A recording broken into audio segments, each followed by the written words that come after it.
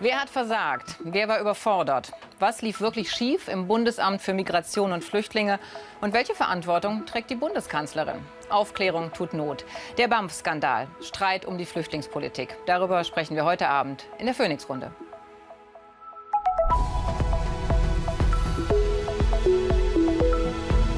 Phoenix-Runde.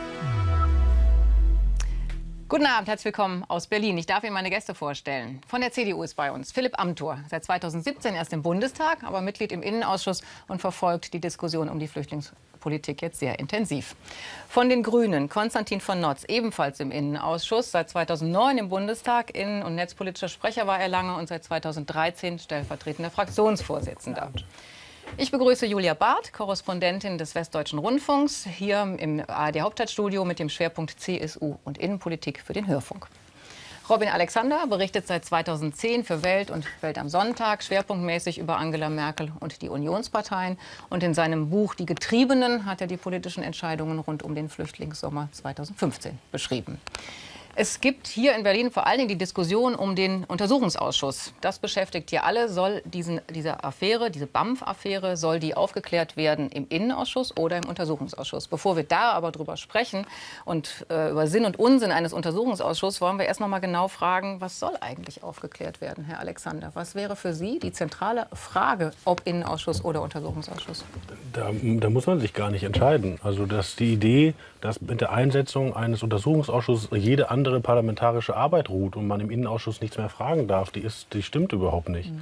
Ein Untersuchungsausschuss hat parlamentarische Rechte, die Parlamentarier sonst nicht haben. Die können Akten einsehen, die können Leute sogar unter Eid ähm, sozusagen fast vernehmen. Das kann ein normaler Abgeordneter nicht, das kann ein Journalist nicht. Also da wären Aufklärungsmöglichkeiten da, die aber, sonst nicht gegeben ja, sind. Aber gucken wir doch mal darauf, um was geht es Ihrer Meinung nach? Was, muss, was ist die zentrale Frage oder das zentrale Versäumnis, was aufgearbeitet wird? Ja, und auch hier, hier wird auch immer ein Ob gemacht. Ähm, soll man sich nur um mögliche ist ja gar nicht bewiesen, Korruption im BAMF kümmern oder soll man sich nur um politische Leitentscheidungen kümmern? Auch das ist äh, keine Alternative. Natürlich, wenn es in BAMF Außenstellen ähm, vielleicht sogar Kriminalität gegeben hat, muss das aufgeklärt werden. Aber das gesamte BAMF kann man doch nur verstehen, wenn man die politischen Leitentscheidungen des Jahres 2015 in den Blick nimmt.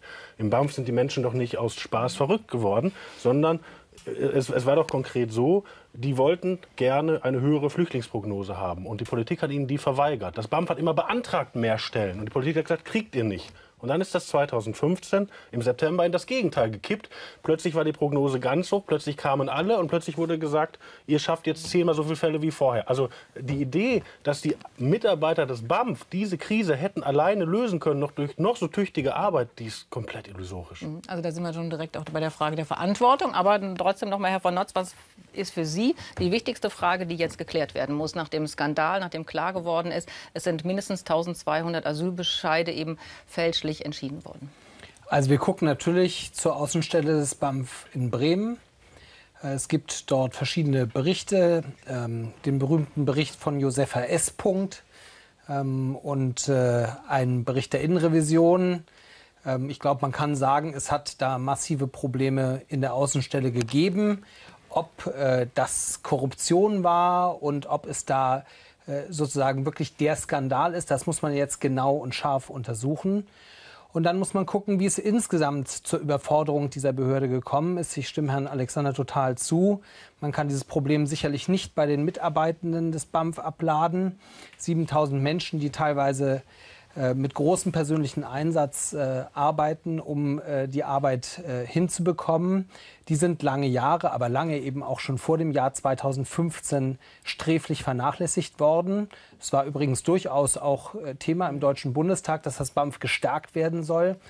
Äh, es gab, würde ich aus der heutigen Sicht sagen, eine ideologische Verbohrtheit zu sagen, können wir eigentlich gut mit leben, dass die langsam arbeiten. So schnell wollen wir die Leute gar nicht integrieren. Wer und, war denn da ideologisch verbohrt? Naja, die Leute, die politisch Verantwortung getragen haben, eben seit dem Jahr 2005 und äh, eben so nicht Interesse daran hatten. Und Rechts- und Fachaufsicht für das BAMF ist das Innenministerium.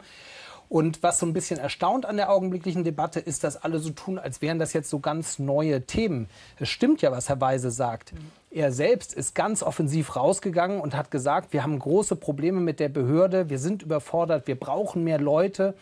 Ähm, wir haben schon im Jahr 2013, 2014 darauf hingewiesen, es kommen immer mehr Menschen, wir müssen die Behörde stärken und darauf ist politisch nicht reagiert worden und das ist auf jeden Fall aus heutiger Sicht ein schweres Versäumnis. Mhm.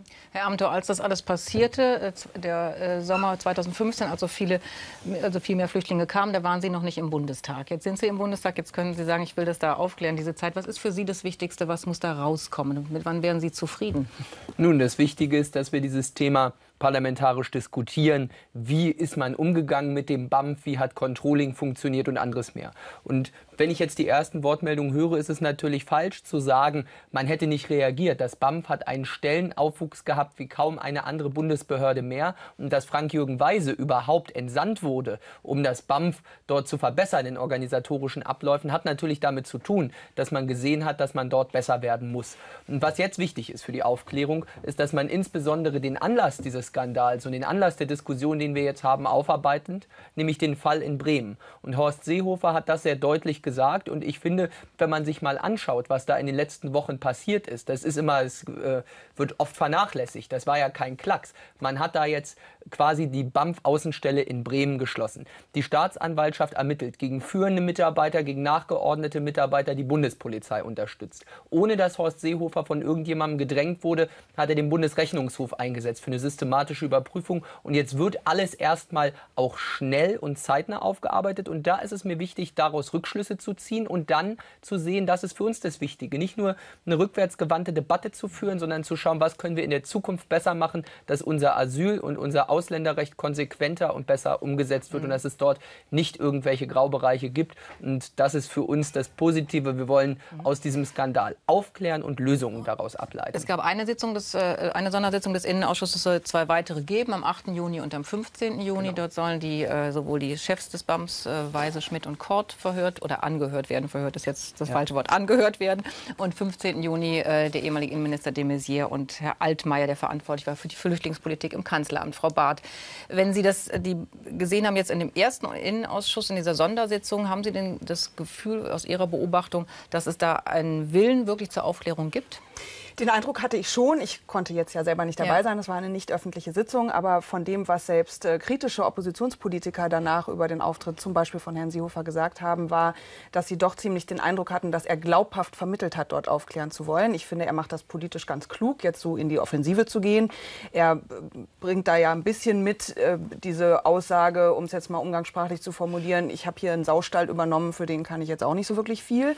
Ähm, aber ähm, grundsätzlich würde ich ihm auch glauben, dass er ein großes Interesse daran hat, gerade weil es ja eben für ihn politisch mhm. so ein wichtiges Thema ist, ähm, dass er dort Aufklärung bringen will. Und ich glaube, dass es tatsächlich neben all dem, was man natürlich auch über die politische Verantwortung noch mal besprechen und auch parlamentarisch klären sollte, ähm, ist das für mich eigentlich das Elementare, dass man eben guckt, ja, es gab einen sehr starken Personalaufwuchs im BAMF. Da reden wir aber häufig mhm. über Quereinsteiger, die zum Teil nicht richtig geschult wurden, die nach einem halben Jahr wieder rausgeschmissen wurden, um dann wieder neue Quereinsteiger zu holen.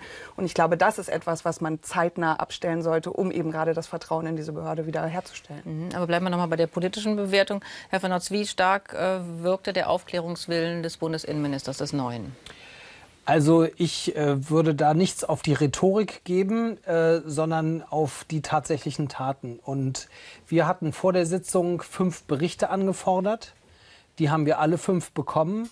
Und wir hatten einen Fragenkatalog eingereicht mit 70 Fragen, die wurden uns komplett schriftlich beantwortet. Vor der Sitzung, ja. Vor noch, der ne? Sitzung. Mhm. Äh, und daran messe ich ihn und stelle fest, immerhin, äh, man ist offensichtlich bemüht, äh, ähm, äh, zu helfen, aufzuklären und die Fragen zu beantworten. Wir haben jetzt war gestern, das zufriedenstellend, die Beantwortung? Ihrer das war Anna? zufriedenstellend, aber es gibt viele Folgefragen. Wir haben äh, gestern Morgen wieder einen äh, ähnlich umfangreichen Katalog eingereicht. Wir haben äh, äh, ich glaube, sieben Berichte angefordert, unterschiedliche Dokumente. Wir erwarten, dass die bis zur nächsten äh, Sondersitzung auch äh, kommen und dass diese Fragen auch schriftlich beantwortet werden. Und dann kann ich nur sagen, ich selbst teile das, was Herr Alexander am Anfang gesagt hat, dass, dass ein Untersuchungsausschuss ähm, ein scharfes und sehr wichtiges Schwert des Parlaments ist. Aber die Wahrheit ist eben auch, wer die Abläufe kennt, es ist auch ein langsam arbeitendes und langwieriges Instrument. Und wenn man das jetzt ernst nimmt, dass diese krisenhafte Situation der schnellen Abhilfe bedarf und dass wir schnell verstehen müssen, was falsch gelaufen ist, dann sind wir gerade auf einem sehr guten Weg. Wir reden davon, jetzt am 8. die drei letzten Chefs des BAMFs zu bekommen. Wir reden darüber, für den 15. Herrn de Maizière und Herrn Altmaier zu hören. Das sind Leute, die würden Sie in einem Untersuchungsausschuss am Ende hören. Das wäre wahrscheinlich dann so der Juni 2020 frühestens. Und deswegen sage ich Ihnen, ob man am Ende an einem Pur nicht vorbeikommt oder nicht, das höre ich mir noch an. Aber das, was wir im Augenblick an Aufklärung leisten, das ist beispielhaft und das hilft Also uns, Lob diese, der- ja, okay. diese Probleme. Ja, also Ja, ich sag also mal, Lob die von der Opposition für na, die, die, Regierung. wenn ich das ganz kurz sagen darf, die Sondersitzung, die Sondersitzung haben wir beantragt, die Fragenkataloge haben wir als Opposition eingereicht.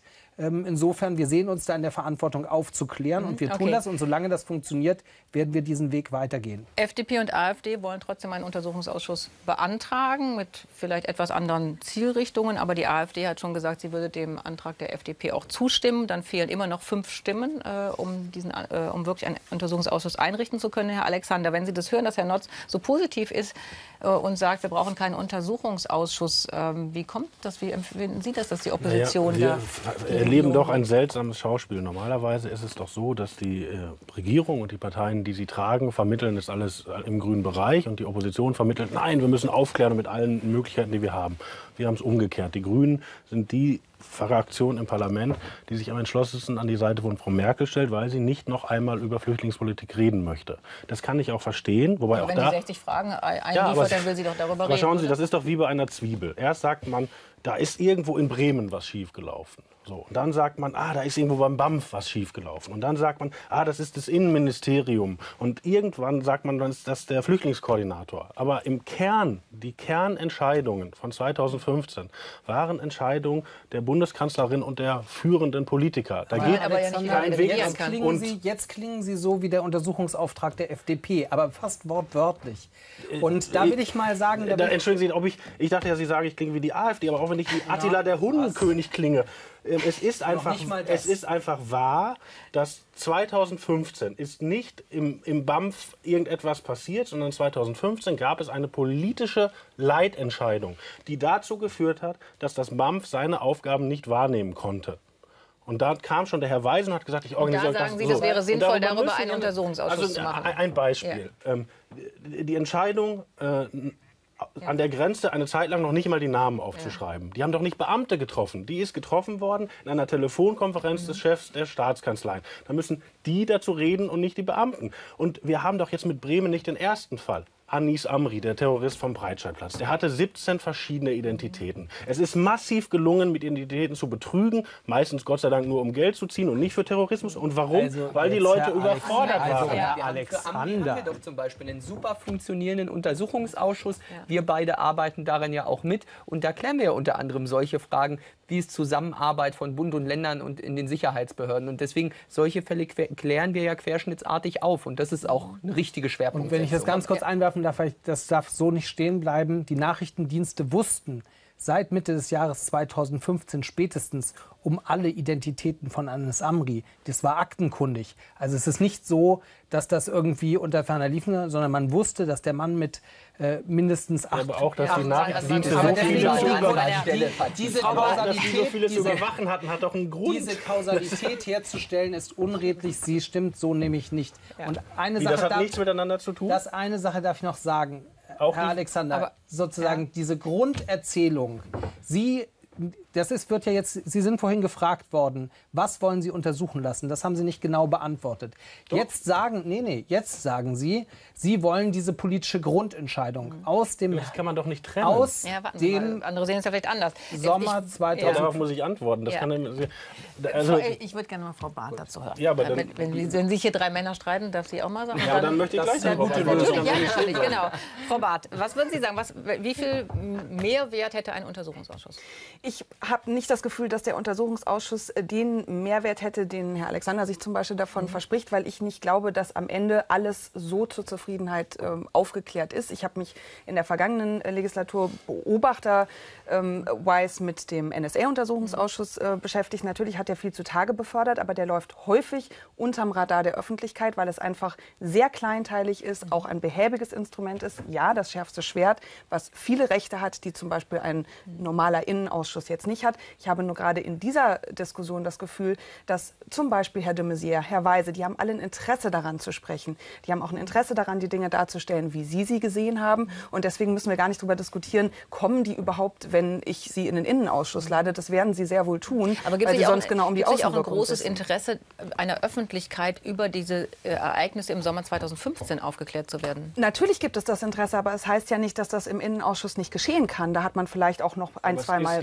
Aber, ja, äh, aber dann, aber dann müsste er auch öffentlich sein. Ja, da hat man aber vielleicht auch ein, zwei Mal mehr die Chance, eine öffentliche Innenausschusssitzung zu machen. Sowas soll es ja auch geben.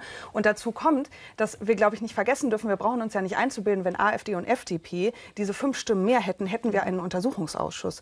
Das Problem ist ja, dass sich, glaube ich, für meine Begriffe eher noch Union, SPD, Grüne und Linke auf einen Untersuchungsausschuss einigen könnten, weil sie sich wenigstens im Untersuchungsauftrag näher sind als äh, die FDP und die Grünen zum Beispiel oder die AfD und die mhm. SPD. Herr Amthor, äh, was würden sagen Sie denn? Sie haben äh, in einem Interview gesagt, Sie sind nicht grundsätzlich gegen den Urausschuss. Die CDU-CSU-Fraktion hat aber heute in ihrer Sitzung auch noch mal klar gesagt, dass sie das eigentlich nicht will. Also wo stehen Sie da? Wo gibt es da einen Mehrwert? Und wäre es denn nicht auch sinnvoll, dann die Debatte, die ja lange nicht geführt wurde, dann eben das öffentlich zu tun? Nun, ich stehe da ganz auf der Linie der Fraktion. Alexander Dobrindt und Horst Seehofer haben das, was ich formuliert habe, im Prinzip so auch gesagt. Horst Seehofer hat vor drei Wochen gesagt, wir wollen aufklären und wir verschließen uns einem parlamentarischen Untersuchungsausschuss grundsätzlich nicht.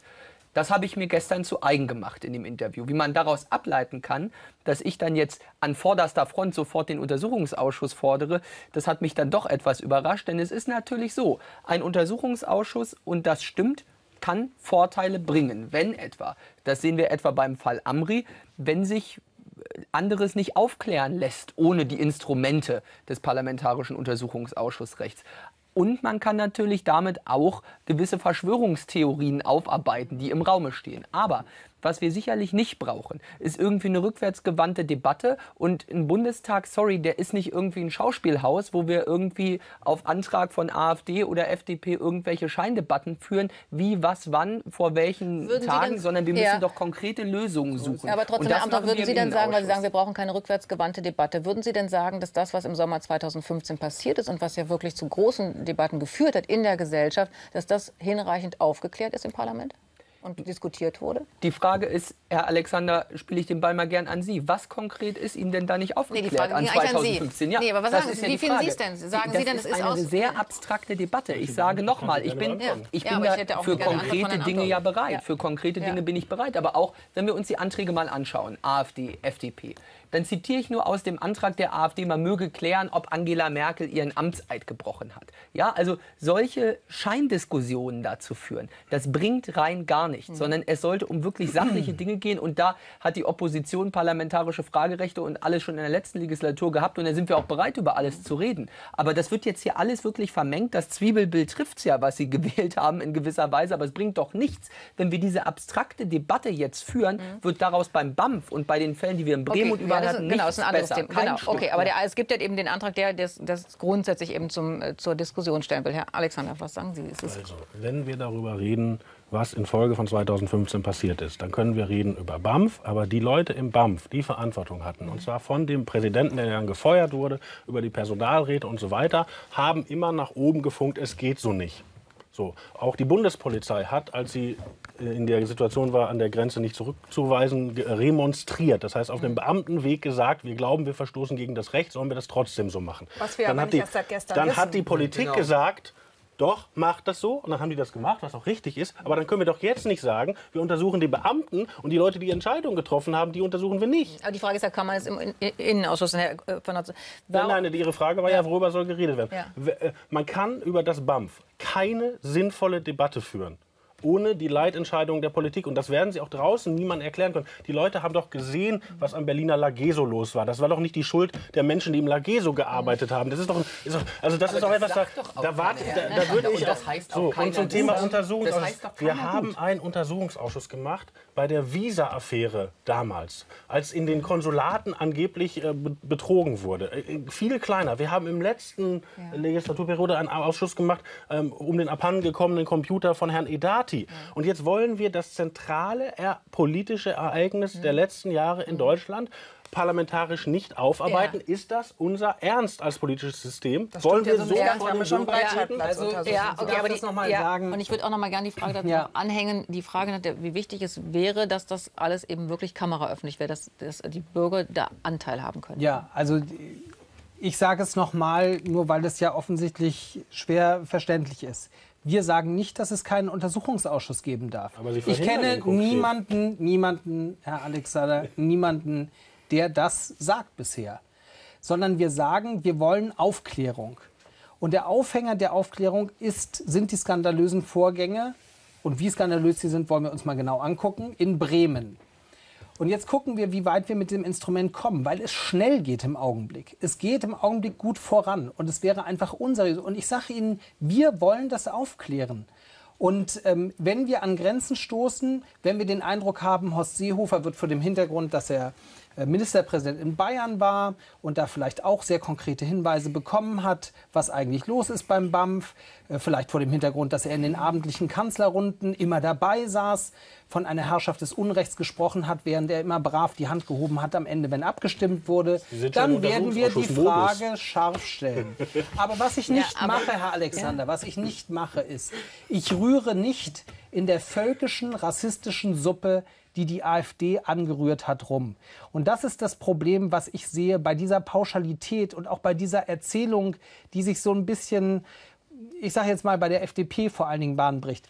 Nur um Vorurteilen vorzubeugen, nehmen wir das jetzt mal als Arbeitsthese, was die AfD hier proklamiert, und dem gehen wir jetzt mal auf den Grund. Damit bestätigen sie diese Erzählung. Und ein Untersuchungsausschuss wissen Sie, das ist ein fragiles und ein langarbeitendes Instrument. Am Ende gibt es einen Mehrheitsbericht und einen Minderheitsbericht und so weiter. Und ich an. glaube, diese vergiftete Geschichte, Herr Alexander, die sollten wir nicht füttern. Und ich habe häufig den Eindruck, dass es einem gar nicht darum geht, was war denn jetzt die konkrete Überforderung beim BAMF in Bremen, was ist denn da passiert, hat sich da jemand an die Korruptionsrichtlinie nicht gehalten oder so, sondern dass man wirklich versucht, diese ähm, ich sag mal, völkisch motivierte rassistische Erzählung äh, sozusagen als Arbeitsgrundlage zu machen. Und das machen also wir das nicht mit. Das Sie jetzt der AfD vorwerfen. Das mache ich, das werfe ich ja. der AfD vor, natürlich. Ja. Aber Christian Lindner hat meiner Ansicht nach den schweren strategischen Fehler gemacht, nicht zu sagen, wenn ich mit Minderheit, qualifizierter Minderheit einen Untersuchungsausschuss einsetzen will, dann mache ich das auf jeden Fall ohne die AfD. Das wäre ein legitimer. Standpunkt gewesen, sondern er hat gestern gesagt, ich nehme auch die Stimmen der AfD dazu, um dann eben diesen Auftrag äh, zusammenzukriegen. Ja, okay. ich halte das für eine Grenzüberschreitung. Frau äh, Barth, wie würden Sie es bewerten, wenn, das, wenn, also wenn die AfD und FDP gemeinsam sich auf einen Antrag einigen? Was für ein Signal ist das? Was für ein Signal ist das? Ich, am Ende ist es insofern für die FDP tatsächlich ein bisschen unglückliches Signal, weil ihr das passiert ist, was sie eigentlich nicht wollte, nämlich dass sie so ein bisschen auf dem AfD-Pferd mitzureiten scheint, was ich der FDP überhaupt nicht unterstellen möchte. Ich glaube nämlich, dass es de facto nicht so ist.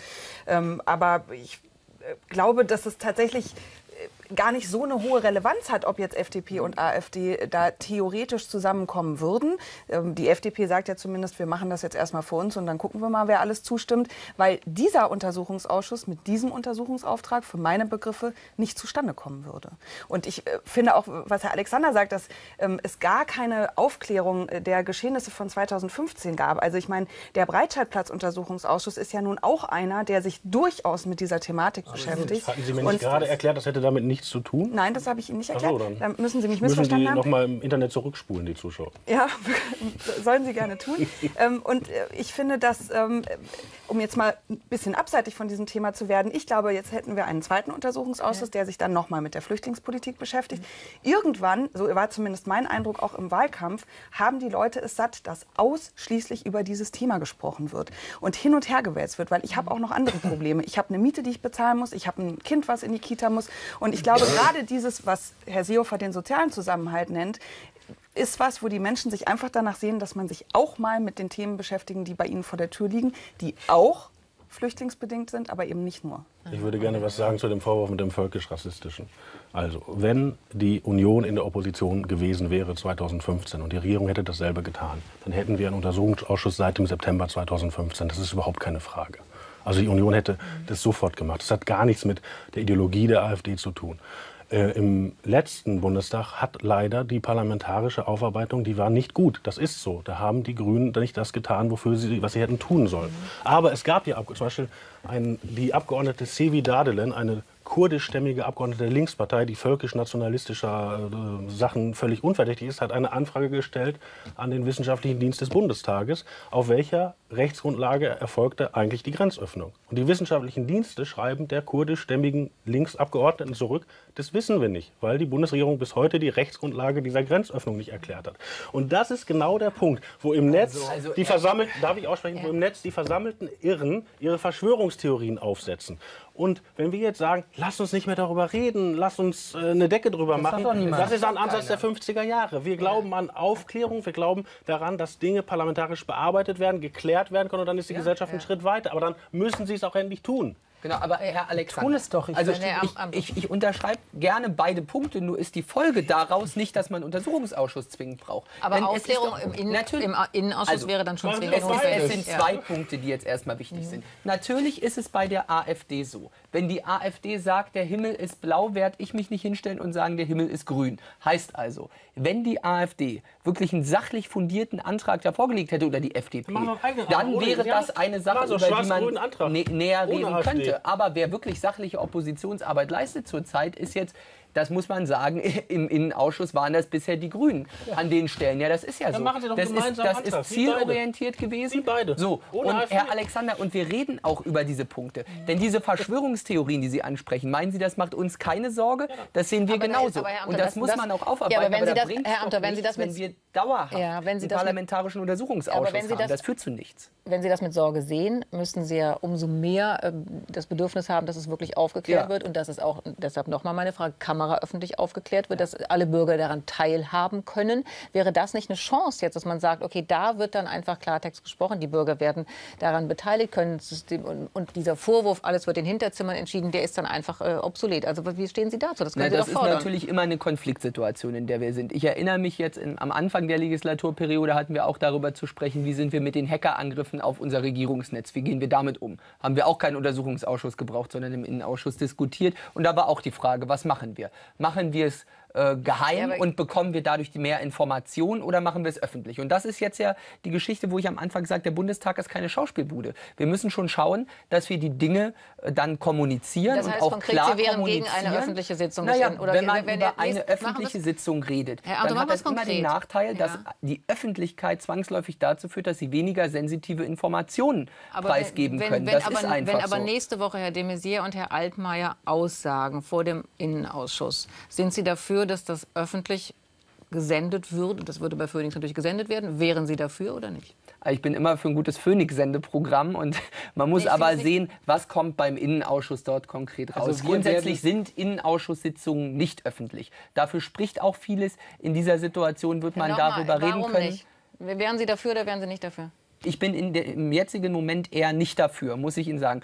Denn es geht ja darum, wir werden alle diese Fragen, die die Öffentlichkeit hat, können wir natürlich auch aufarbeiten. Aber Sie bieten, Sie bieten doch mit einem öffentlichen Innenausschuss vor allem nur äh, irgendwie eine Bühne für eine wilde Sie Auseinandersetzung. fragen Wir- Ihre Kanzlerin. Ja. Sie stellen die Frage, wo ist denn da die Bühne? Aber- Warum soll die Kanzlerin, wenn der Herr Notz da sitzt, da sitzen Sie, da sitzen die Sozialdemokraten, da sitzt die FDP, die Linke und dann sitzen da auch welche von der AfD. Und dann sind von zehn Fragen acht und, oder neun vernünftig.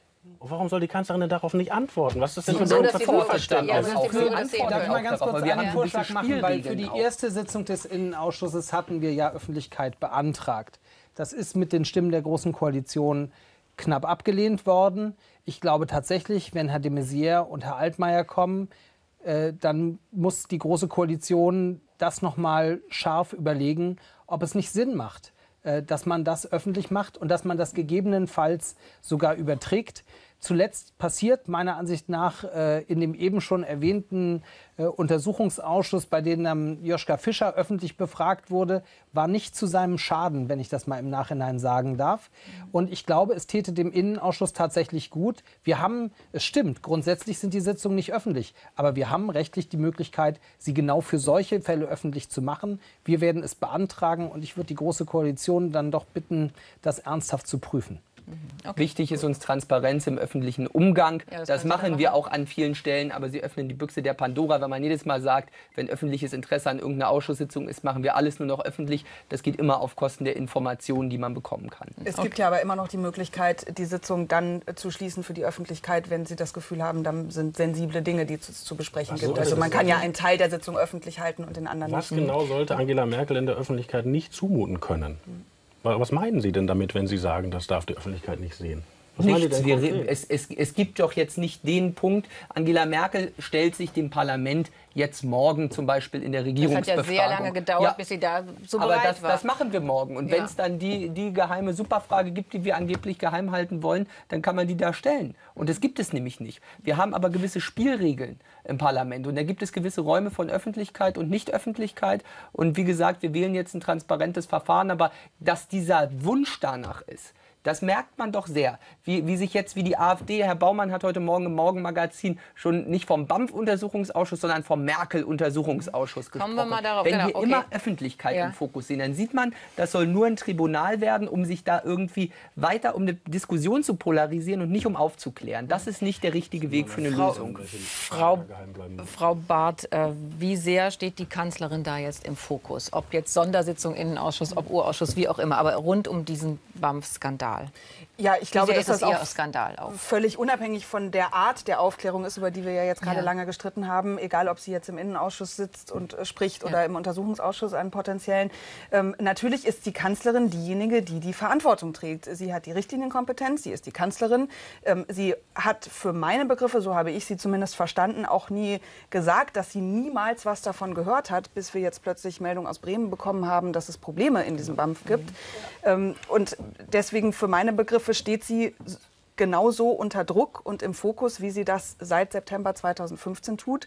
Und seitdem steht sie massiv unter Druck, weil sie für diese Entscheidung, und deswegen teile ich das auch nicht ganz, dass, äh, dass da irgendwie der Deckel drauf gegeben wurde und wir haben nie wieder darüber gesprochen, für diese Entscheidung ja massiv kritisiert wurde. Und zwar so sehr, ähm, dass in der ganzen Diskussion um Kritik an Merkel, Merkels Flüchtlingspolitik auch aus ihrer eigenen Union f- ganz vergessen wurde, wie viel Gesetzesverschärfungen und wie viel, also äh, strenger die Flüchtlingspolitik, Asylpolitik in Deutschland geworden ist in den vergangenen zweieinhalb Jahren, seitdem das passiert ist. Ja, und einer der schärfsten Kritiker war Horst Seehofer. Man erinnert sich an diesen Parteitag, wo sie neben ihm stand.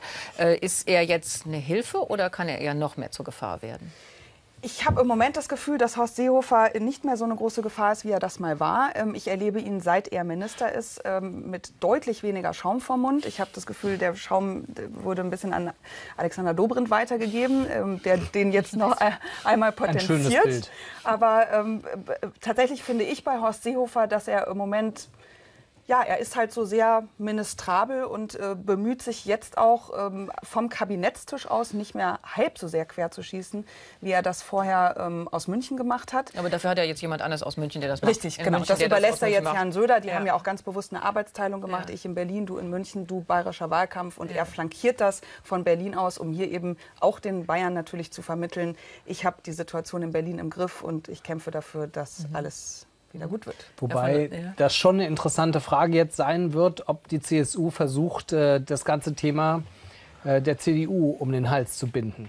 Und ja, ja, das kann man ja unterschiedlich sehen, aber ich habe diese, ähm, der de Maizière ist schuld und wir sind es nicht. Ähm, das ist ja die letzten Wochen schon sehr stark gekommen. Und ähm, Es stimmt, äh, die CSU hat Landtagswahl in Bayern und äh, steht da sehr unter Druck. Aber die CDU hat in den nächsten, im nächsten Jahr drei Landtagswahlen ähm, in Ostdeutschland. Und ähm, ich glaube, auch da äh, muss man sehr aufpassen, dass das nicht so ein ganz billiges Blame Game wird. Und ich will noch mal sagen, weil ich das eben so auch nicht kaufe. Die CSU, auch Herr Dobrindt, gerade Herr Dobrindt, der war Minister.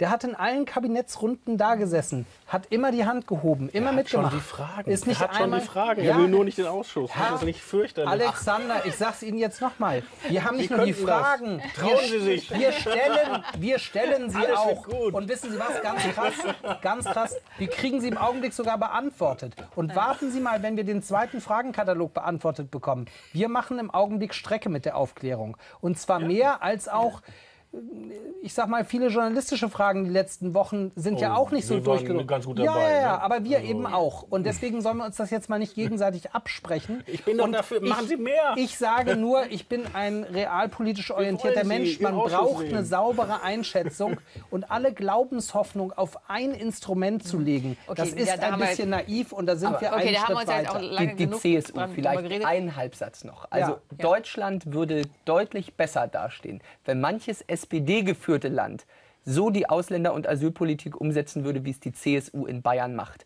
Weil das ist mal ein ganz wichtiger Punkt. Also hier jetzt der CSU und der Union den schwarzen Peter immer so zuzuschieben, darüber kann ich mich doch auch nur wundern. Und deswegen ist schon ein wichtiger Punkt, gesagt, wenn man die- da die- zurückschaut. die also CSU schiebt der CDU den Nein, schwarzen Peter das ist zu. Das überhaupt ist nicht so. so. Und das Interesse mit der Landtagswahl, Da will ich auch mal sagen, da haben vor allem die Oppositionsparteien äh, versuchen, dieses Thema mit dem BAMF-Skandal bis in die bayerische Landtagswahl zu strecken, um da irgendwie noch Seehofer und der CSU was ans Zeug zu flicken. Und das wird so nicht funktionieren, weil die CSU Sie- da klar aufklärt. Ja, aber wie würden Sie denn die Position von Angela Merkel da sehen in, diesem, in dieser ganzen Affäre, in diesem BAM-Skandal? Horst Seehofer ist Minister im Kabinett von Angela Merkel und erklärt mit ihrem Rückenwind das jetzt auch konsequent auf. Die Maßnahmen, die ich vorhin skizziert habe.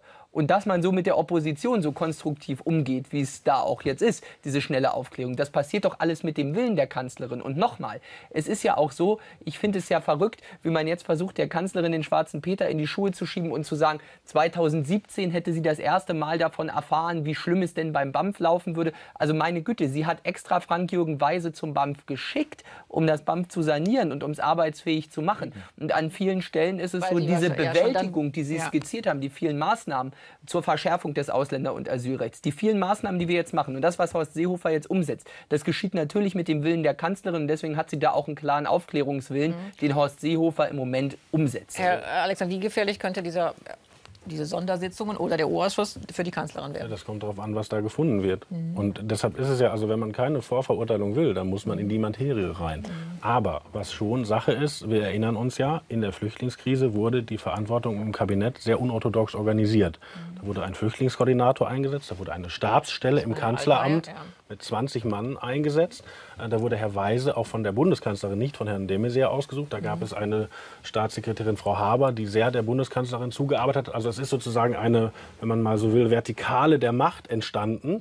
äh, Vom Kanzleramt runter bis ins BAMF. Und die Leute im Innenministerium und die Innenpolitiker in der CDU-Fraktion, ihre, ihre Vorgänger und jetzigen Kollegen, wenn man die angerufen hat, haben die immer gesagt, oh Gott, oh Gott, oh Gott. Und das ist schon so gewesen und da kommt man auch nicht drum rum. Deshalb wird man es weder bei dem Seehofer noch beim de Maizière abhandeln können. Das ist doch eine völlig irre Sache. Die Leute erinnern sich doch noch an die ganzen Interviews, die Herr Altmaier als Flüchtlingskoordinator gegeben hat. Das war doch das Gesicht der Flüchtlingspolitik. Und jetzt Ja, dann geht es um ihn, aber wie sehr geht es um die Kanzlerin? naja, aber dass Also die Flüchtlingspolitik die wichtigste Sache war in Angela Merkels letzter Legislaturperiode seit 2015, das kann doch niemand leugnen. Die haben im Kabinett die Geschäftsordnung geändert, dass in jeder Kabinettssitzung war der erste Punkt Flüchtlingskoordination. In jedem Kabinett, die haben die Geschäftsordnung geändert. In jeder Morgenlage der Kanzlerin sie ist morgens vorgetragen worden.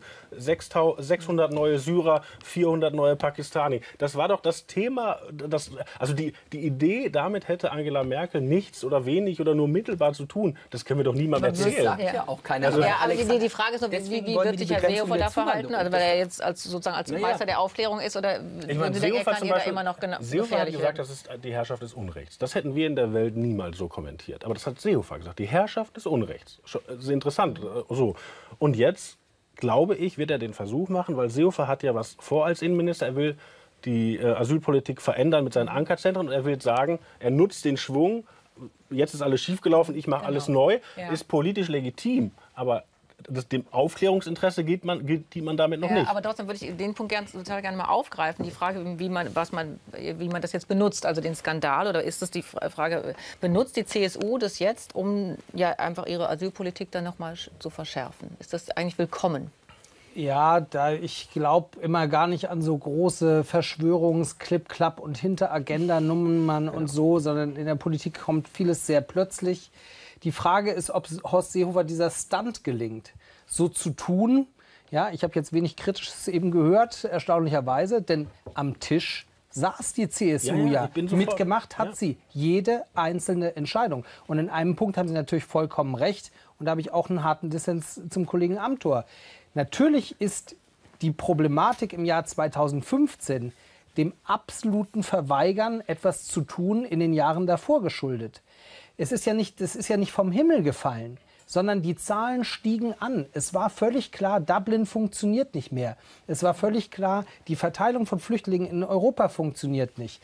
Der Krieg in Syrien eskaliert. Das kam, das konnte man von ganz weitem äh, zu Besuch kommen Das, sehen. das wissen wir. Und also man die Frage ist ja, wie man jetzt damit umgeht. Das war ja die ja, Frage. und deswegen muss man natürlich, wenn man jetzt die Fragen stellt, nicht nur auf das Jahr 2015 gucken, sondern eben schon vorher. Und das tun wir. Und was da rauskommt, äh, das werden wir dann sehen. Aber dass da drauf rauskommt, die CSU ist reinen Herzens, sie hat von allen nichts mitbekommen, Nee, die- sorry, ja, das aber die- glaube die Frage ich nicht. war ja, inwieweit sie jetzt damit, also inwieweit sie ihr das nutzt oder inwieweit sie da äh, sozusagen ihre Interessen da anders Politisch gilt immer, dass man die Krisen, die einem zufallen, politisch nutzen soll. Und das wird auch Horst Seehofer mit seiner großen Erfahrung äh, tief verinnerlicht haben, denn er hat schon mehrere Problempakete in seinem Leben gefangen und zu nutzen gewusst. Die Frage ist, ob es hier gelingt, denn die CSU ist unmittelbar mit dem, was die letzten Jahre auch falsch gelaufen ist, verknüpft. Und das zu Hat abstrahieren. es aber immer sehr stark kritisiert. Ja, Aber aber es ist ja auch nicht so zu hat tun, als halt hätten wir nichts gemacht. Ja, es ist ja nicht so zu ja. tun, als hätten wir nichts gemacht. Das ist ja ein ganz wichtiger Punkt. Seit 2015, das hat ja auch die CDU-Parteibasis, die CSU alle bewegt. Und deswegen haben wir ja gerade jetzt im Koalitionsvertrag genau diese Ergebnisse. Begrenzung der Zuwanderung. Wir wollen keine illegale Migration. Wer ausreisepflichtig ist, soll nach Hause geschickt werden. Wir wollen die Begrenzung der Zuwanderung auch zahlenmäßig, was wir vereinbart haben. Wir haben den Familiennachzug ausgesetzt, wollen Ankerzentren. Das sind doch alles konkrete Antworten auf 2015. Und Frau- das ist ein ja. wichtiger Punkt. Frau Barth, wie würden Sie es äh, sehen, die Ideen, die ähm, jetzt die im Koalitionsvertrag stehen, also die Ankerzentren und auch den angekündigten Masterplan von Herrn Seehofer? Ist das ein Punkt, wo Sie sagen, da hat die Koalition jetzt wirklich was gelernt und da wird sich was verändern und das wird damit solche Sachen wie jetzt im BAMF halt eben nicht wieder äh, passieren? Wird das funktionieren? Ähm, das wäre mir jetzt zu früh, um das schon Ja. zu beurteilen. Tatsächlich habe ich ein bisschen die Sorge, ähm, weil das eben in der vergangenen Legislatur genauso war. Ich habe irgendwann den Überblick zwischen Asylpaket 1, 2, Mhm. 3 bis 5 verloren, ähm, dass zu viel zu schnell gemacht wird, ohne dass man darauf achtet, was davon wirkt möglicherweise und kann es überhaupt wirken. Mhm.